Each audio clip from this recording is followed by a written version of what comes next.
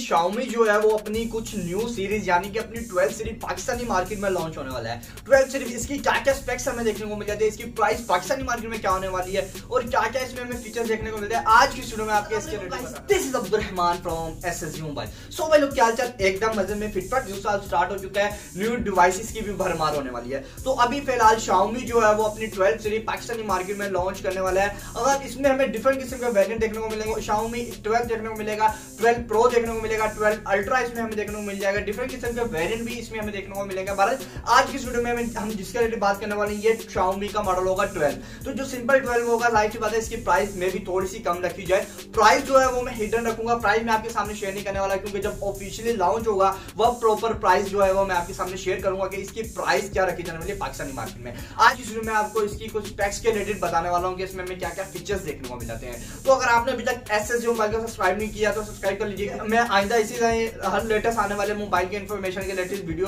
बनाता रहूँगा। तो चलिए चलते हैं आज की इस वीडियो में बिना किसी टाइम वेस्ट किए तो भाई, सबसे पहले मैं इसके डिस्प्ले की बात करूँ तो ओ एल ई डी यहाँ पे हमें इसका डिस्प्ले देखने को मिलेगा वन ट्वेंटी हर्ट्स के साथ। साइज़ की बात करता हूँ तो six point twenty eight inch का यहाँ पे हमें इसका डिस्प्ले साइज़ देखने को मिलेगा।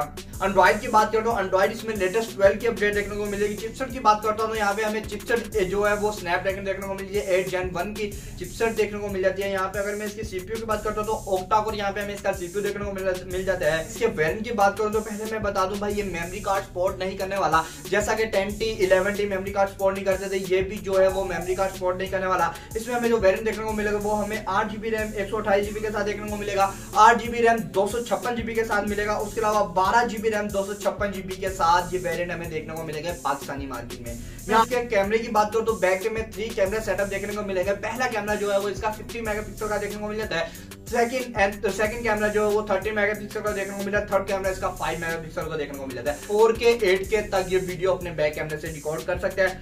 फ्रंट कैमरे की बात करता हूँ फ्रंट पे हमें सिंगल कैमरा 32 मेगापिक्सल का देखने को मिल जाएगा। इसकी बैटरी की बात करूँ तो घटाई, अगर उसने इसकी बैटरी घटाई होगी, ज़ाहिर सी बात है इसको थोड़ा सा स्लिम भी रखा जाने वाला है। अगर मैं इसकी बात करूँ तो पैंतालीस सौ की इसकी बैटरी रखी गई है। और इसी पैंतालीस सौ को बैटरी की चार्ज करने की बात करूँ तो इसका जो चार्जर है वो हमें सिक्सटी सेवन वॉट का यहाँ पे हमें देखने को मिलता है। अब बैटरी कम रखी गई है, पर चार्जर काफ़ी अच्छा देखने को मिला है। अब मेन मुद्दा आता है इसकी प्राइस भाई प्राइस जो है वो आप लोगों ने मुझे बतानी है कि इसकी प्राइस क्या होनी चाहिए पाकिस्तानी मार्केट में, क्योंकि टोटल स्पेक्स इसके मैंने आपके सामने शेयर कर दिए हैं। वरना तो जब ये डिवाइस लॉन्च हो जाएगी इंशाल्लाह हम इसकी अनबॉक्सिंग भी आपके लिए लेकर आएँगे पर आज की वीडियो में इतना ही। मैं उम्मीद करता हूँ आपको वीडियो पसंद आएगी। वीडियो पसंद तो लाइक कर दिएगा चैनल को सब्सक्राइब कर लीजिए। मैं मिलता हूँ आपसे इसी तरह के फ्रेश वीडियो में। बहुत तक भाई को दीजिए इजाज़त। अल्लाह के